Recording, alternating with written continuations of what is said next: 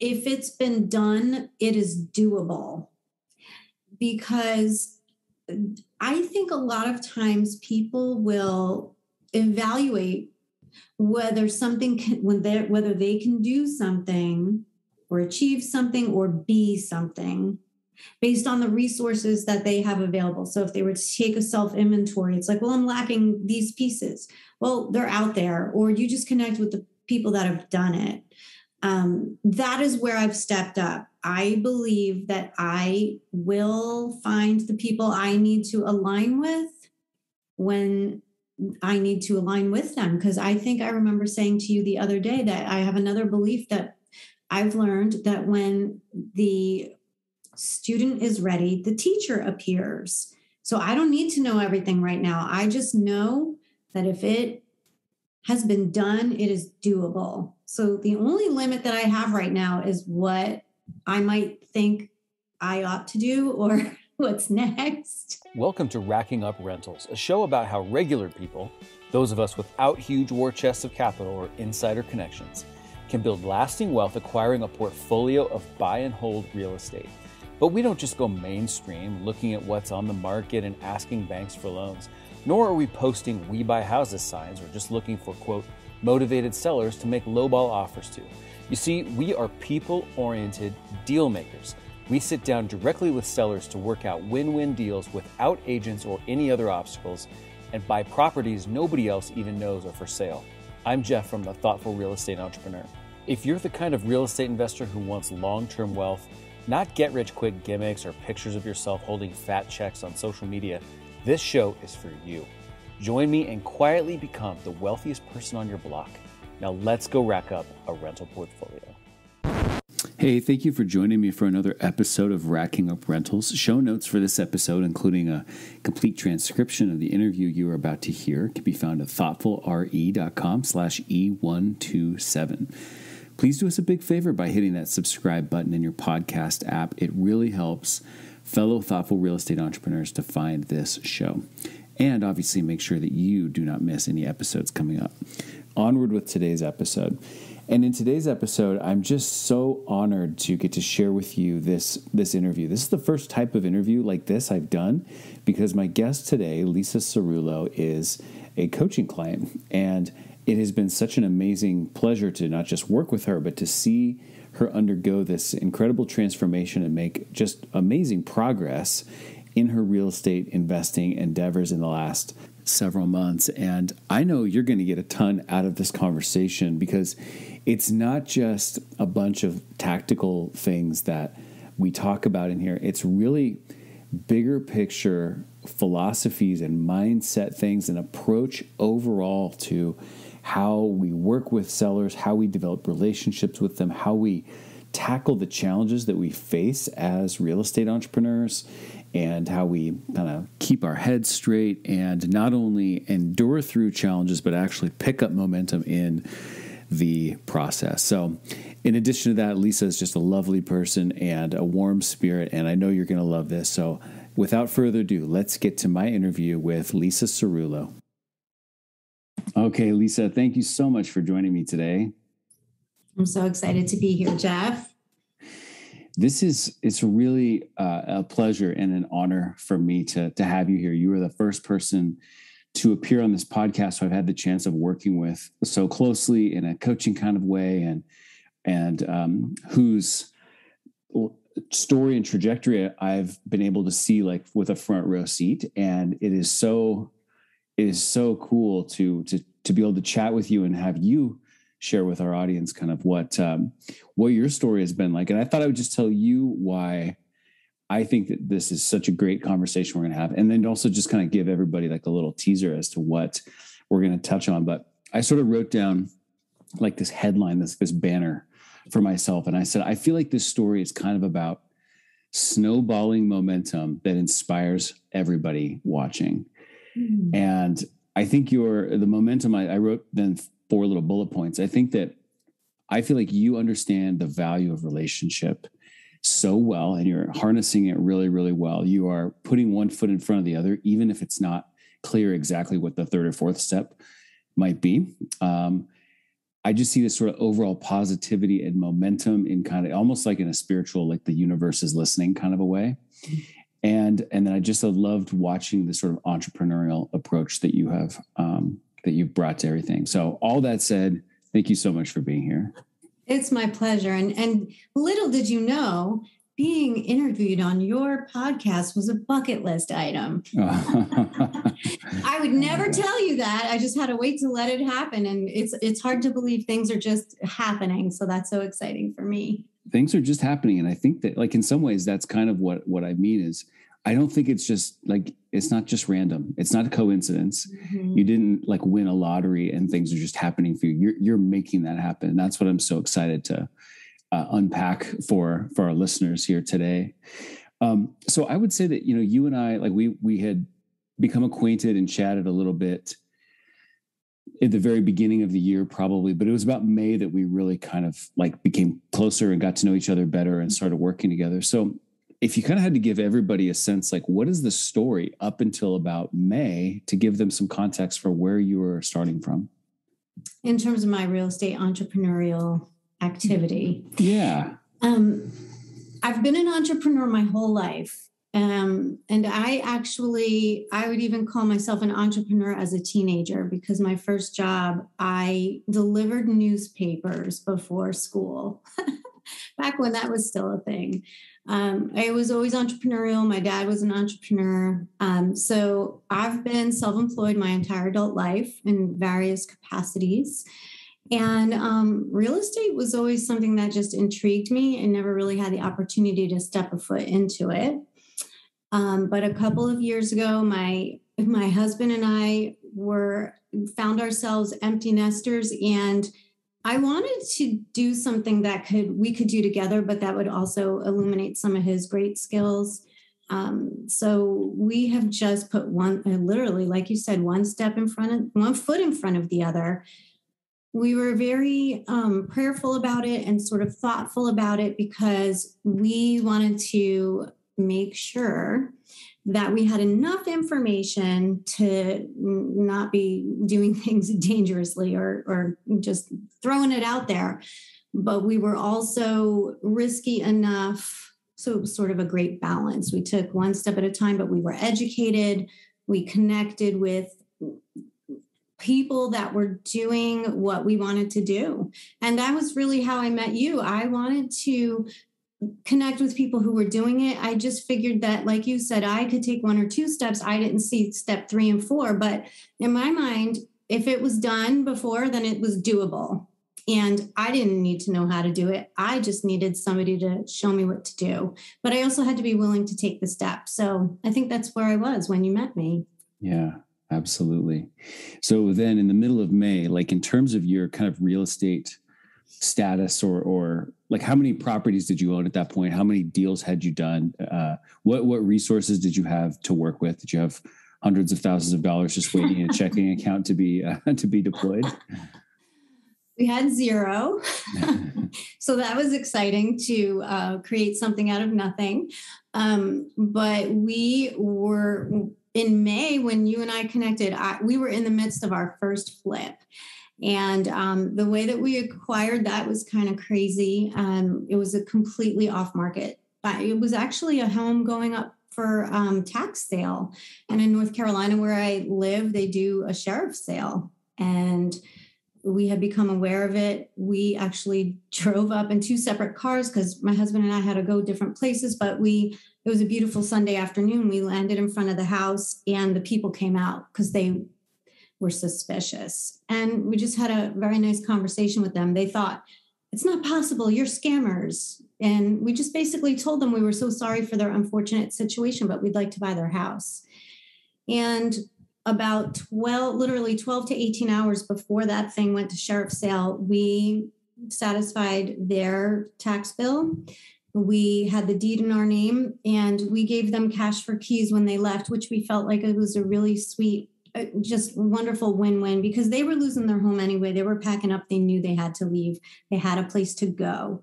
But we were able to gift them with some cash. And then we had this sweet deal, which, you know, we flipped um, we when we were in the midst of talking to them, we just knew that we sort of aligned lined things up properly enough that things would keep coming. So actually, at the time we started talking to them, we did not have the money to pay their taxes or give them any cash for keys. But what we did was started talking to people who were interested in our journey and what we were doing.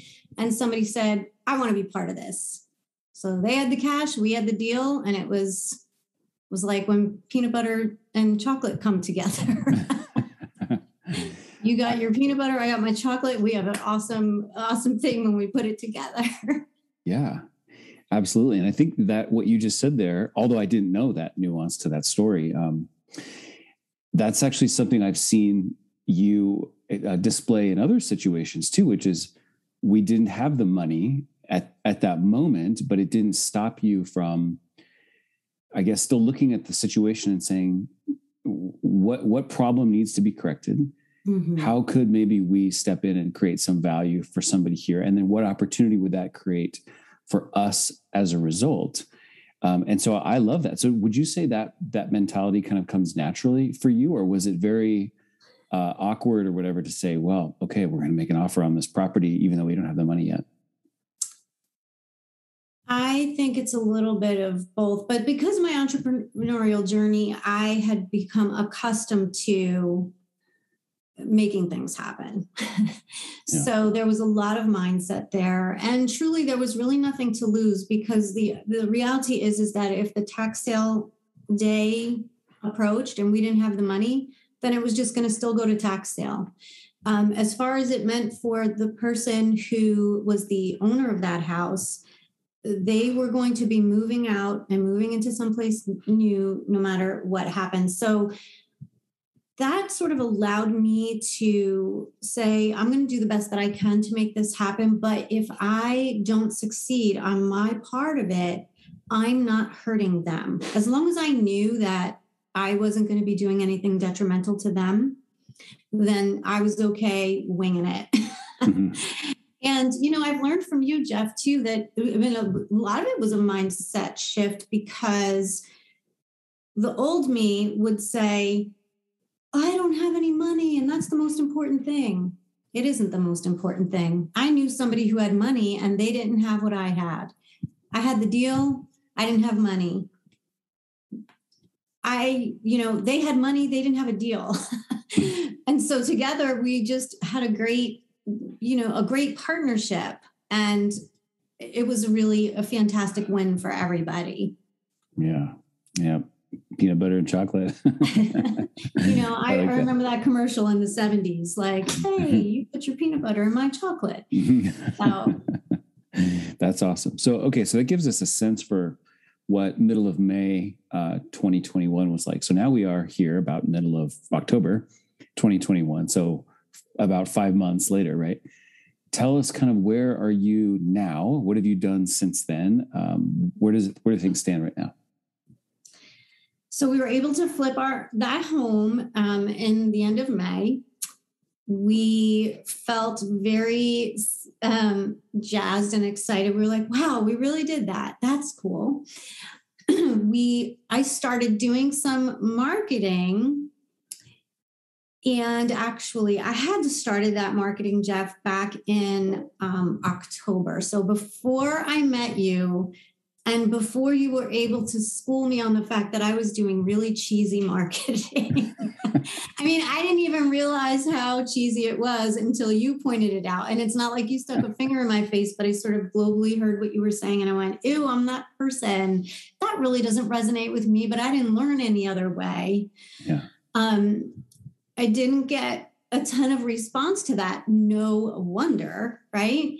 But I did, again, like, I maybe it just was the right timing, or I don't know, a little bit of beginner's luck, or just maybe the stars were aligned that day. God said, This guy's going to call you, even though you're doing cheesy marketing. but I got a call from a gentleman who Turns out he owns 90 properties in the town that we would lo- live in and we would love to invest in because we want to stay close to home. And he told me that he had 90 properties. He was looking to retire. And I pretty much asked him why he called me. And he said, usually when I get these postcards, I pick one to call somebody and tell them off and yell at them, but you sound really nice. and, you know, I started a relationship with him. As you said, I was very much more interested in the person. I knew that the properties were really, they would come. I love getting to know people, and I figured he might have had a thing or two to teach me. I mean, I was happy to be in his presence and hear his story. And so you know, I spent a lot of time getting to know him. And I think that he took a liking to us because he told me the first or second time that I spoke to him that some investor that he called barely even wanted to know his name. And he said, Tell me all the addresses of your properties. And he basically looked at him and said, Lose my number. I never want to talk to you again. You know, so that approach was too aggressive for him. Somehow he liked my approach fast forward to today, we have purchased six of his properties.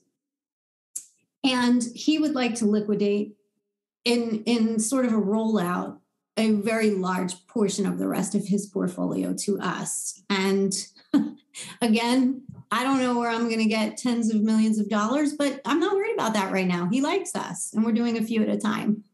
yes, exactly.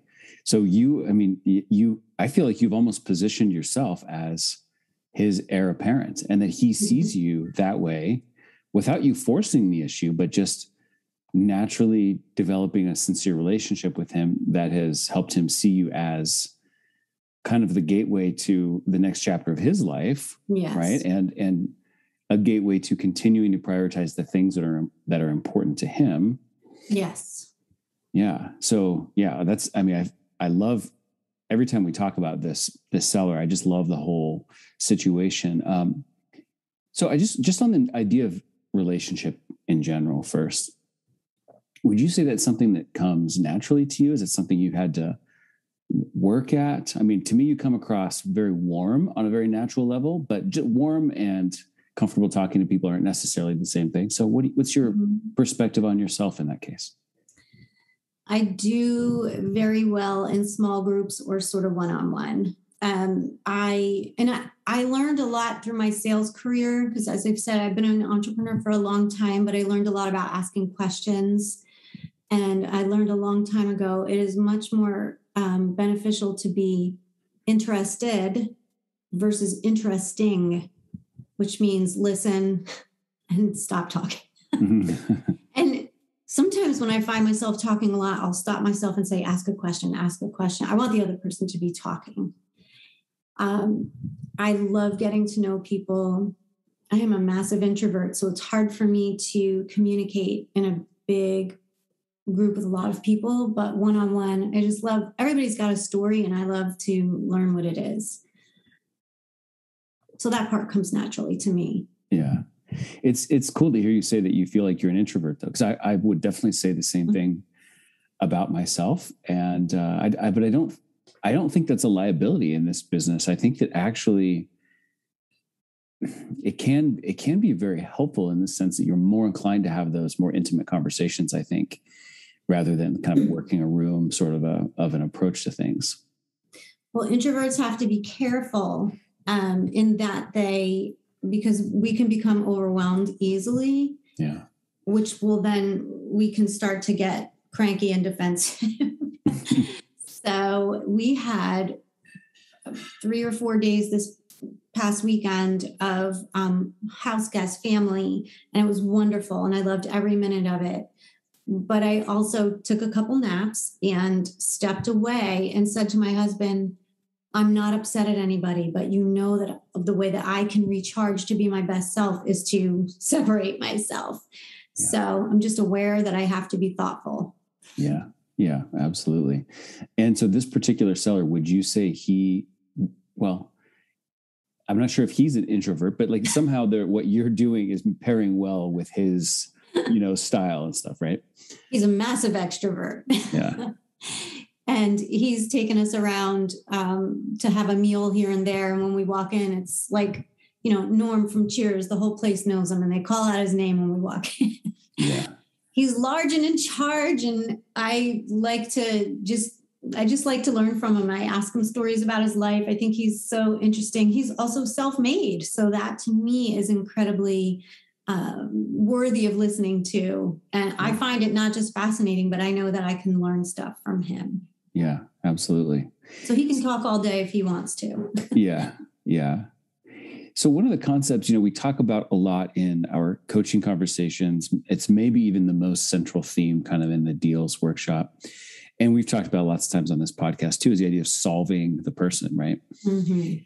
So when you think about this particular seller who is, you know, like, I mean, I don't know, I keep thinking of, um, you know, you're digging a well and like you just really hit a big vein of, there's a lot of water down there, or you're, you're drilling for oil and holy cow, did we just hit a, a massive potential gusher? There's a lot of properties to be bought from this person with the right relationship.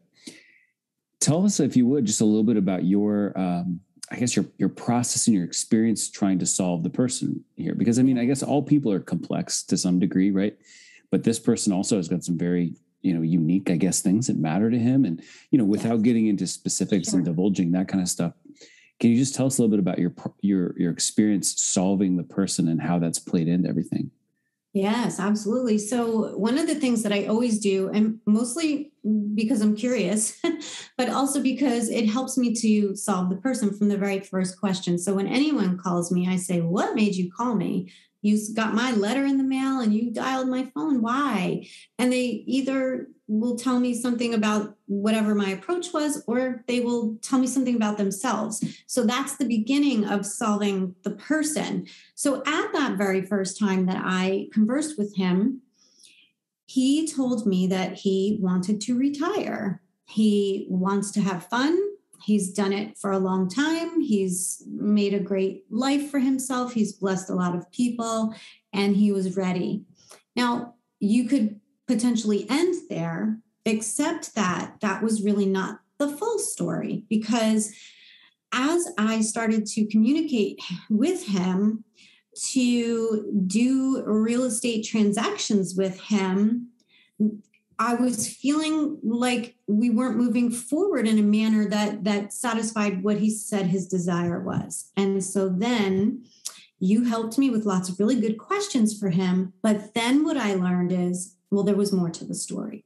He didn't just want to retire, he also had employees that, in his mind, if he retired and shut the doors of his business, he would have three people out of a job. So, as we started to talk more and I asked more questions, I learned that that was a real issue for him. And so then every time that we moved forward, with negotiation or proposal, I would keep in mind how can I help address the thing that's important to him. But for sure, I did not know the extra layer the first time that I asked him what he wanted or what would be appealing to him. Yeah.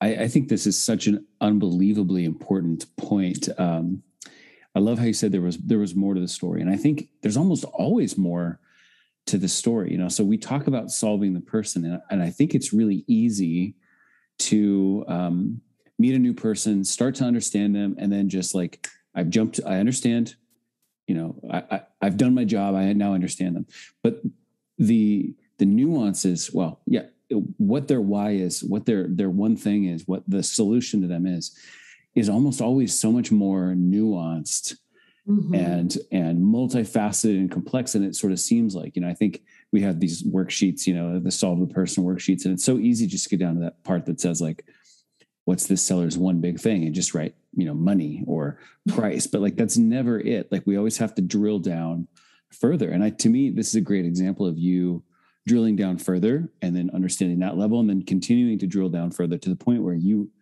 you might understand him better than he understands himself even because like you're listening with a fresh outside perspective I would like to think that some of the questions that I asked him were not only providing an answer for me, but maybe they were thought provoking for him. Yeah. Because when he told me that he did not want to put three people out of a job, I thought, well, if I find out some crazy way to buy your whole portfolio, maybe I'm going to need them. Do I need the services of these three people? I wouldn't be able to do this business by myself. And so when I started to talk to him about some of that, some of the answer was yes, Some of the answer was no. And then I thought, okay, now when we're in a yes, I can move in that direction. Okay, let's get more to yes. How do we solve your problem, their problem, my problem? But it it illuminated a direction. And I just love information. I always think you can't, you just can't have too much information. Yeah, absolutely. And insights too. You know, maybe that's yes. my sort of arbitrary distinction between those two yes. uh, I words, I guess. But um, yeah, I think that that's uh, that's amazing. And I think that that point, I don't know if that I've ever really um, thought about this point in this super conscious way that I'm thinking about it right now, based on what you just said. But that's such a great point that when you ask questions, it's not just about a transference of information from them to you Yes. It's actually helping them process the whole topic themselves. You know, we could even ask questions to lead them in a certain direction to kind of fit, ponder things that we can see they're not pondering yet, or mm-hmm. uh, come to conclusions that we know that they can come to, but they just need some breadcrumbs between where they stand now and then that conclusion. And questions are such a great way to do that, not just for things we can take notes on, but to actually help them come up with their own thoughts. And I think, Jeff, that, um, and I'm not a brain scientist or, or neuroscientist, but I remember my uncle was doing a PhD in psychology when I was in high school, and he interviewed me. And I remembered one of the things that he did. I was like, what is he going to say? Or what is he, you know, how's he going to train me or teach me something? And he didn't. He just asked me a bunch of random questions about my life and then repeated back my answer to me and then said, Is that accurate? And sometimes I was like, No, that's not accurate. But he was repeating back to me exactly what I said, which made me think, Wait a second, that's not what I mean. Or that sounds like what I said, but I don't really think that. So just that exercise was really something that made me think about what I was saying. And I feel like it helps people to really think, I just said this, but is that what I really mean? Yeah. Oh, absolutely. Ah, that's a, that's such a beautiful point. I love that. So these conversations we have relationally, it really helps both sides. Yes. You know, process all the topic and explore the all the angles. I guess. Um, so I wanted to ask you about creative financing and uh, deal structuring and seller financing, right? So again, sort of uh, ostensibly, what we talk about a lot in coaching and the deals workshop is uh, is seller financing, but to me, seller financing is really an extension of relationship, right? Mm-hmm. And I guess I, I, know that you know you've you've had the opportunity to bring in some creative deal structure mm-hmm. options with this seller, um, even with other sellers you're you're talking to and negotiating with. And um, I guess I was wondering if we could kind of talk about how you see the intersection of relationship and that approach to negotiation with seller financing and creative financing as well, right? Because I'm, I'm guessing that I'm guessing that you probably don't feel like you could just walk in cold off the street with someone you didn't know and then have those types of deal structuring conversations that you have been able to have here. That's true, but it would also probably be inappropriate from what I've hmm. learned from you, right? Because I couldn't propose seller financing unless I knew that that was in the best interest of the seller. And I don't know anything about them yet until we've had a full on conversation. So I don't really necessarily approach it and just say, let's see if I can convince somebody to do this. Because then that would just be about me and it might just be inappropriate for the seller. Yeah, yeah, absolutely. So you had the situation where you were closing, uh, you're preparing to close on uh, four of the properties from this yes. seller, right? And you had your financing lined up. And then there were some surprises that came up with your with your financing uh, expected financing plan right and yes. it was because of your relationship with the seller that you were able to uh, navigate that a little bit um, uh, you know kind of again without divulging unnecessary details can you tell us just a little bit about how that played out and how because uh, i'm guessing i mean i was feeling i just say from the coach's perspective like i was thinking to myself i'm really glad lisa's got a uh, a relationship capital bank account that's full of deposits coming into this little hiccup that could otherwise have derailed you know a, a, deal for for other types of investors as well. Can you tell us a little bit about that? Yes. So we did run into a snag and then i called Jeff, and Jeff said, "Calm down." um, so what happened was the lender was happy to have the seller have a piece of seller financing in the deal. But at the last minute, they told me that they would not allow us to collateralize that financing with the properties we were buying. And that was really a big deal at the last minute because where else was I going to do it? And so we had a conversation um, presented to him just it being oh you know these you know how these things are and we we we came forward in a non-panicked manner thanks to your coaching.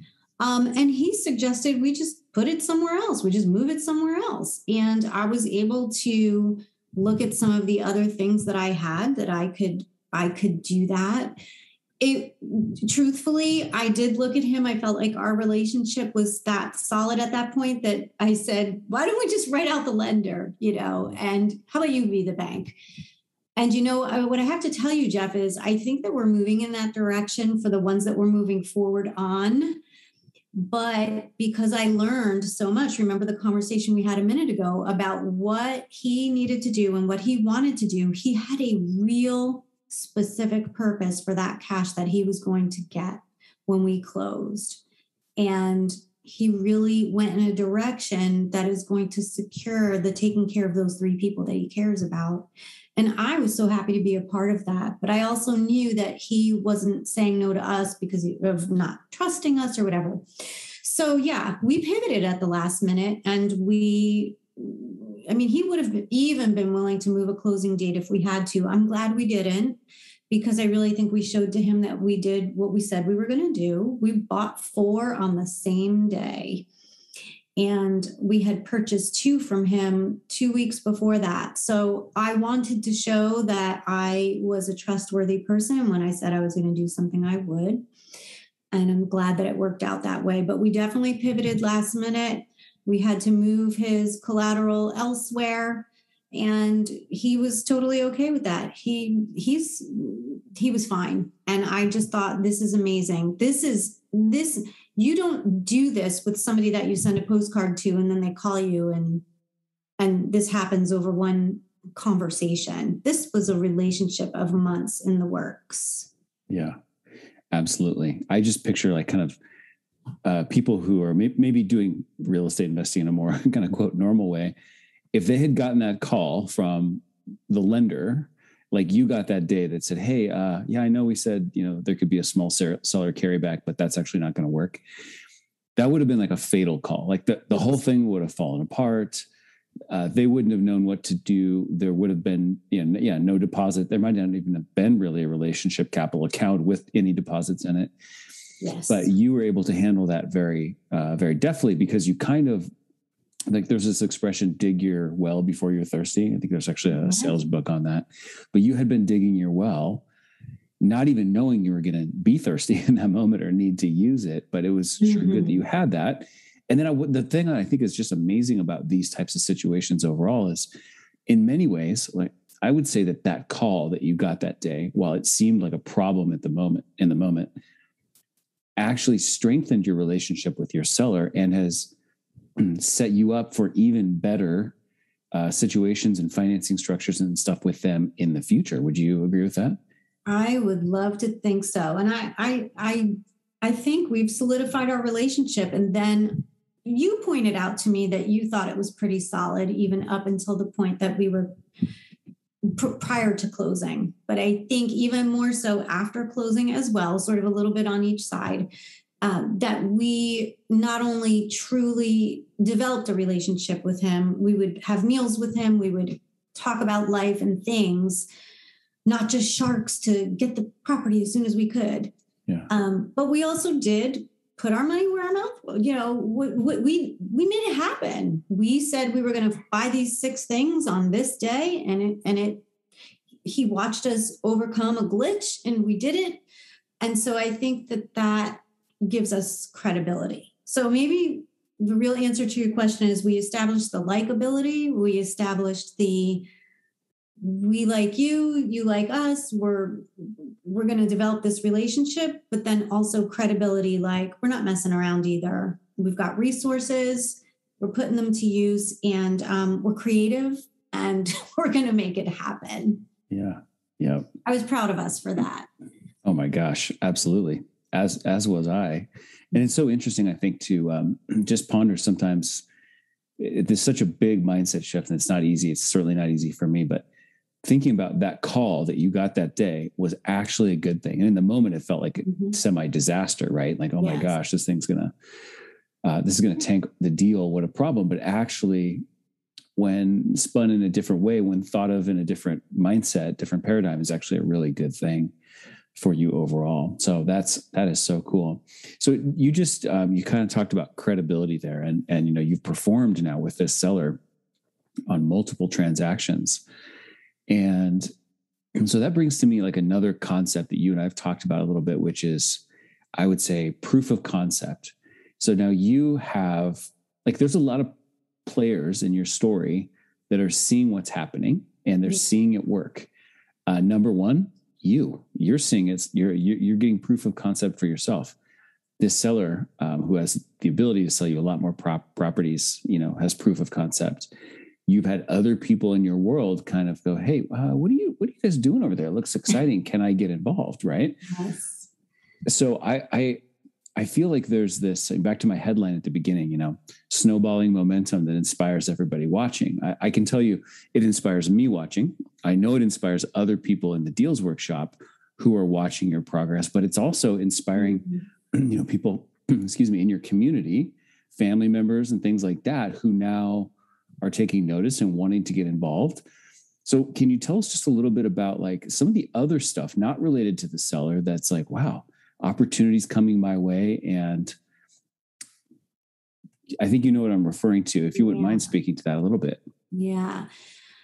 Well, we, um, my husband and I were early on when we first did our education, and we're like, we're going to do this and we started some telling some people close to us and we didn't we got mixed reviews let's just put it that way we got some people who were very excited for us other people told us they weren't bailing us out of jail because we might be trying to do something illegal because of course they've never heard of seller financing so that means it can't be done or it's illegal um, we had other people who told us we were crazy. And then finally, Mike and I looked at each other and said, enough sharing with people who do not share a similar mindset. It is not my job to convince people that what we're doing works or is a good idea for us.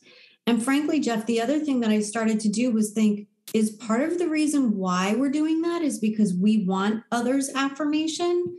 I want to have my own affirmation. And so, therefore, I'm not going to seek opinion and approval, except from the people who have walked the journey, who I would consider a mentor or a teacher or a colleague. And um, so we sort of shifted mentally a little bit, and then we just started having some fun. My my husband is our contractor, and that happened in June, sort of accidentally. I mean, he, he he had a parting of ways with his employer, which was mutual. Um, and then at that point, it was okay, maybe we should do that part of it for real. We both, we were already into it, but we were hiring outside contractors somewhat um, because my husband had a full time job, even though he was capable of doing a lot of the work. So now we moved into the part where, okay, we're going to do this. And so he actually started his own business recently Monroe Mike, he's our contractor, and then we have our our other company that we're doing acquisition and um, our rental portfolio. So we are we've moved forward, and then just because you, social media is everywhere, and I was somewhat comfortable with it in the pandemic. I with my other business had to get very comfortable with social media. So I said, let's just do a Facebook page and invite all of our friends and show them the fun stuff that's happening or show us like standing in a hole with spiders everywhere like silly memes whatever so we were just kind of having fun like hey everybody look what we're doing And then we started to get people curious. They started asking us what's going on. So it was more like we were attracting people rather than hunting for them. Is that a good way to put it? Yeah, and I, I, think that's a great way to put it. That's been kind of how I've felt about observing what's been going on too. And I know you know some people believe in the the idea that like the universe brings you what you focus on and what you want, but I I I, I am one of those people. I do believe in that, but I think also just on a very practical level too. You decided to to make it clear to the to the people in your world. Here's what we're doing, and you you like you said, you got some feedback that made you focus maybe who you were sharing that with a little bit more.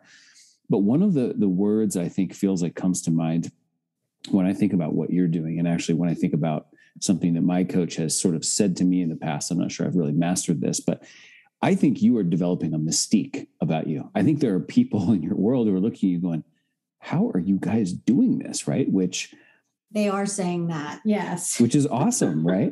and and you don't have to reveal your all your you know your magic ways but the point is you like you are the peanut butter to their chocolate and they're looking at you yes. going wow I, I wish i could have some of those results but i don't know how i don't really need to know how but how can i get involved in what you're doing right that is happening and it feels so much better than the alternative which is what we started out with um, but in fact when going back to that first flip that we did my husband um, did a walkthrough of that house. It needed a full renovation. And, you know, this was the one that was the tax sale. And so we were just casually sitting with a friend, and he said, Well, here's the deal. You guys know we did our education, we made this relationship. I got to close on this house in two weeks. I don't know what we're going to do. If, in order for us to get it and save it from tax sale and have it be ours, we need to find somebody who wants to invest in this. So if you know anybody, and he literally looked at us and said, that person is me mm. and and we said really and so that's really how that happened. You know we didn't start knocking on doors and calling all of our friends or sending out a mass email saying hey who wants in? And it felt better that way. But we are beginning to really put opportunities out there for people that are close to us and friends of friends and that kind of thing. Um, and they're coming to us and telling us exactly what you said. I have money and I don't have an opportunity. What have you got going on? Could you put some of my money to work? And I'm thinking, yes, I can. yes, I can. yeah. So, what um, I think for a lot of people, this would be uh, quite a mindset shift for them as well, right? I think for most of us, um, including I, I mean including me that i'm consciously always working on this so that it's not a problem but i think for a lot of people money access to money seems like a heavy topic. Is scarcity right? There's not enough. I can't get my hands on what i need. Yet here you are experiencing people like th- almost starting to throw money at you. Mm-hmm. so how has that shifted your i don't know belief system or mindset just about the whole topic? That was a rough one for me, Jeff, because I do remember in the beginning that Mike and I were figuring out how to craft like these really creative proposals and just I'm going to say, I'm going to be bold enough to say it felt kind of desperate. I need money. And so I'll go back to my peanut butter and chocolate reference. And you taught me this with the cookie reference. um, Reese's peanut butter cups are my favorite, favorite candy. and it is not a peanut butter cup without peanut butter and chocolate. Uh, it's it's both. And you really helped me. And I found myself saying it out loud to my husband. We have chocolate, we need peanut butter. Because truly, when people with money have said to us, Where are you finding these deals? There aren't any deals to be had right now in this market. There's nothing out there. I mean, you know all the things that people say because we're living in a very a time of a very hot market right now. Yeah. And that's what people say. So, why is what I have any less valuable than the cash? It's not. It's equal. We need one another. Just like my my peanut butter cup is chocolate and peanut butter. It's not one or the other and one is not more important than the other. they need each other. yeah. Yeah. So you have a higher level of confidence than you did a few months ago that you are, when you bring an opportunity to somebody, you're actually bringing them an opportunity, not uh, a, a request or not. It's not a hat in hand. Oh gosh, I'm lacking this thing. Please help me. It's much more of like, I've got something that I think could be valuable for you. And I know that what you have could be valuable for me in this thing. Maybe, you know, maybe there's a one plus one equals three situation here. Yes. And I'm not trying to be arrogant at all. I mean, the confidence that you're talking about is just sort of stepping up from a place of a minimum mindset into an abundance mindset and just being on equal terms. As you illustrated earlier, it's common to hear, oh my gosh, the money is the hardest thing or it's the most elusive thing. It isn't. It's just one of the ingredients. I have an ingredient and somebody else has a different ingredient. And so I, but believe me, I had to hear myself say it to believe it. So it was definitely, I don't even want to call it a faking it before you make it kind of thing, but I had to affirm it and speak it until it became regular language and a real thought. Yeah. Yeah. Oh, beautiful. That is su- such an important thing. And I find just at least in my own experience, it's I know that in my head, but some I have to the, the part that I have to keep working on is making sure that it's goes from my head to my heart that I really believe in it because I know this to be true, but I can't say that I wake up every day and spring out of bed with this like enormous confidence, like, oh, everybody, the world of money needs everything I have to give. You know, I have to remind myself of that. And and uh, but it's such an important thing to be able to do. Um, one other thing that I I've noticed that I think is really cool is that here you are you've got uh, you know you've got a whale on the line right? You, you put your fish in the or your hook in the water you've got like a whale like there's you know dozens and dozens of potential properties you could buy. But that didn't stop you from continuing to uh, market and have conversations with other sellers as well. So I guess the question for you is like, why did, did that even cross your mind? Why didn't you just say, "Oh, I'm good enough. I've got this guy. He's he's good for a whole bunch of deals." why have you continued to do that? Because I think it's great that you have. You know what? There's been times where I've been prepping my marketing for the week, and I'm like, "Why am I spending time on this? I have all this other opportunity there." And I said, "Stop." Keep going and doing what you're doing. Um, I had a mentor, oh my gosh, 20 years ago. And she said to me, It ain't over until you can see the headlights pulling out of the driveway. And I'm like, Yeah, like you said, I have a whale, but it's only on my hook. I didn't reel it in yet. So there's just absolutely no reason for me to stop moving in that other direction as long as that other direction doesn't sacrifice the time that is necessary to keep in relationship with this person but yeah there's no reason to stop. Yeah yeah that's cool. So you know sometimes i think when we are looking at ourselves we don't see uh, the transformation that we've undergone the same the same way other people can right? And you and i have known each other for a few months but i think your transformation started even before that. So if you were to reflect back on, say, the last, I don't know, we'll maybe call it nine months or something like that, mm-hmm. what is something in your belief system that you feel like has evolved or transformed during that time?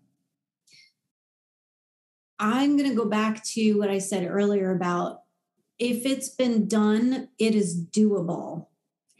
Because I think a lot of times people will evaluate whether something can when they whether they can do something or achieve something or be something based on the resources that they have available. So if they were to take a self inventory, it's like, well, I'm lacking these pieces. Well, they're out there, or you just connect with the people that have done it.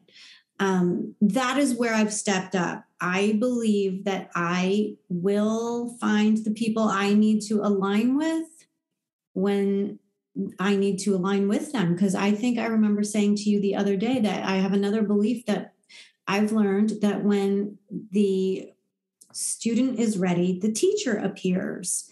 So I don't need to know everything right now. I just know that if it has been done, it is doable. So the only limit that I have right now is what I might think I ought to do or what's next. actually, one of our friends the other day asked us because I actually have a journal here that months ago I sketched out, and I'm I'm terrible at drawing, but I know journaling is the thing to do. I just sort of started sketching out like our company was in the middle. My husband's offshoot company was on, you know, branching off from that. I had arrows in every direction. And I started to look at it. This was like the multiple year plan. And all of a sudden, these things are materializing. So, had a friend who said to us just this past weekend, so it looks like you're getting there really quickly. Are you going to uh, elaborate on that plan? And immediately he and I both said at the same time, yes. And we stood up and gave each other a high five because he's an entrepreneur also. But I thought, this is so cool. Just keep going. And I don't know what I'm going to need to have in place. I just know that when I need it, it's going to be available because it's been done before. Yeah. Gosh, that's great. I love that. That is such, such a great quote.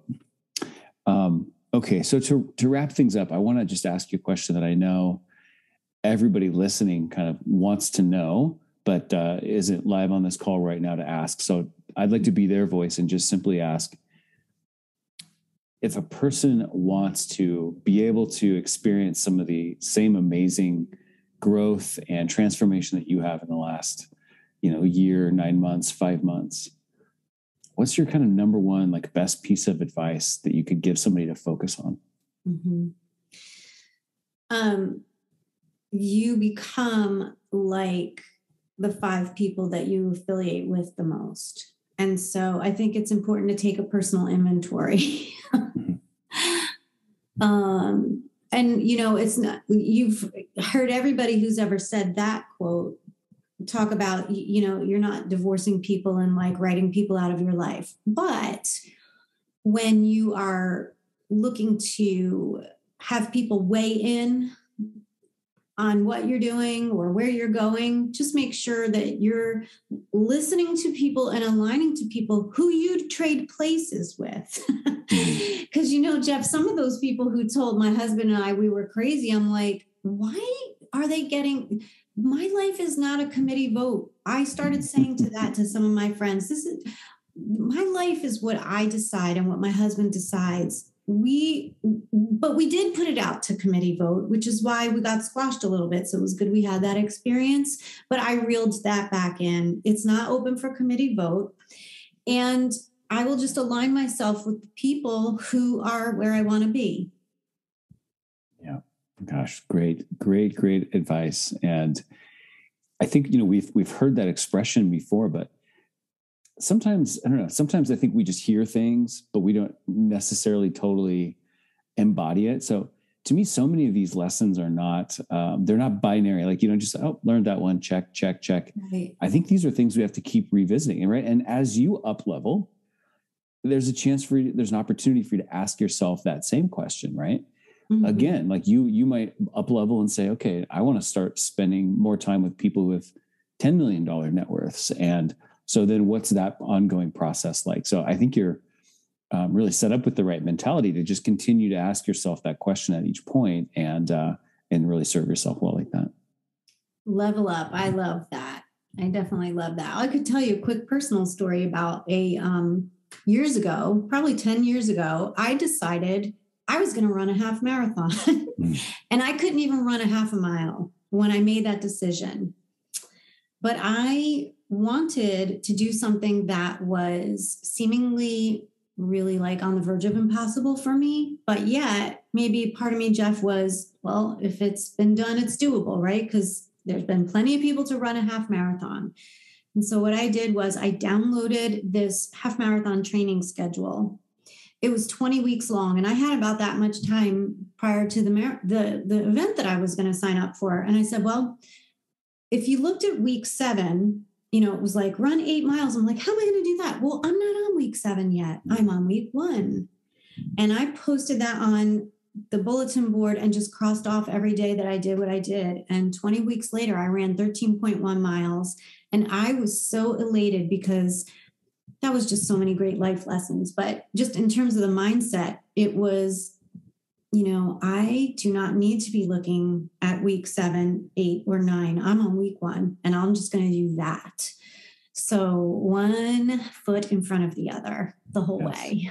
Absolutely. That is the perfect cherry on top of this conversation. Thank you so much for joining me here. Uh, like I said, it's just, it's an honor to have you on here to talk about this stuff and such a pleasure to, to get to, to work with you. And you're just, exactly in my mind like the model of what uh, what I want everybody I get to work with to to uh, accomplish and strive to be. And I'm just so excited about the path you're on. Thank you for letting me be part of it too.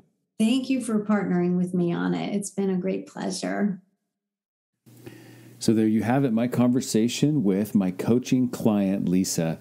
And I think you can tell from this conversation, she's just such a nice, warm person that is using her natural talents in a very strategic and very appropriate and very authentic way to go out into the world and develop relationships and listen to people. And I love just what she said about the idea of being more interested than being interesting. And so many great notes that I took throughout this conversation. And I hope that you got as much out of that as I did as well. That is it for today's episode of Racking Up Rentals. So again, show notes for this episode can be found at thoughtfulre.com slash E127, including a transcript of our conversation.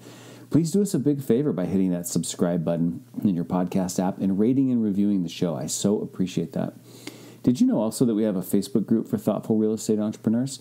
It's called Rental Portfolio Wealth Builders. So you could just search for that on Facebook or if you would like to just type in group.thoughtfulre.com into your browser, you'll be taken right there through the magic of the internet. If you liked this episode, and I really hope you did, please take a screenshot of it and post it to Instagram and tag us. We are at Thoughtful Real Estate. So I'll see you in the next episode. Until then, this is Jeff from the Thoughtful Real Estate Entrepreneur signing off.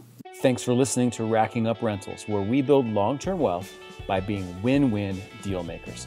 Remember, solve the person to unlock the deal and solve the financing to unlock the profits.